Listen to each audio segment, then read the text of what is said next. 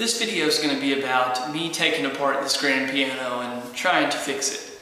Um, but to tell you a little bit about why I got started, I wanted a piano and I started looking on Craigslist because I figured they'd be cheaper on there and I found quite a few that were cheaper on there. But most of the ones that were inexpensive, um, they had some problems with them. Almost all of them had aesthetic damage, uh, especially to the case and around the exterior. Um, but also, quite a few of them had sticking keys, uh, or keys that were stuck or would not play. And so I started to research on uh, different uh, websites and forums and also on YouTube found quite a few videos that documented uh, fixing those problems or different ways to fix those problems. And as I've gone through with this baby grand piano, I found a lot of those to be helpful. So I wanted to uh, kind of document my own findings and, and some of my own experiences with the piano as I go along um, because they have been successful. So I wanted to share that with you guys. I want to start out by um, showing you how to take it apart, but First, I wanted to show you a little bit of the cosmetic damage. Most of the damage is a little bit difficult to see.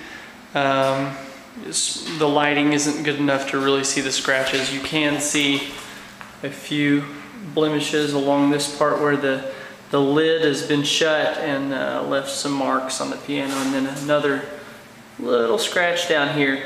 Uh, but the scratches do go all the way around the outside just to give you an idea. Uh, here's the piano bench. Yeah, those are all scratches. So the rest of the piano is not as bad. I think this bench was used just, it was in storage. Uh, I think st stuff was just stacked on top of it. So like I said, not everything's as bad as that bench, but that gives you an idea that it, uh, it does have some, some imperfections on it. Also, there's some markings on the cast iron plate, some places where the paint has chipped off a little bit.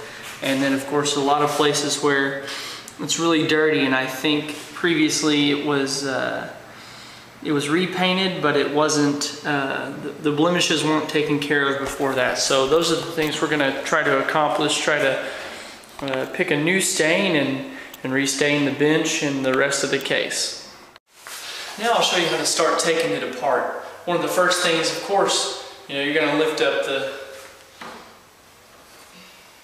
key guard and start looking at what all's in here. Of course, you probably have already looked at your keys to see what kind of shape they're in. Uh, but obviously, if you've looked at anything else, one of the first things that needs to come off is this piece right here. And uh, on mine, uh, there's about four or five different screws along the bottom.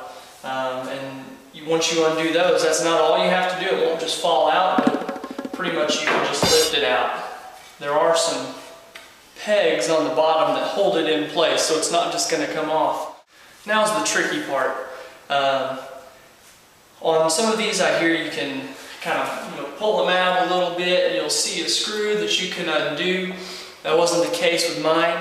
I have to do a little bit of uh, finagling to get it out. And pretty much what you have to do is there it's attached to the two blocks on each side of the keys. Uh, you need to get this part at an angle so that you can lift those and start to kind of pull them out. So what it looks like is this.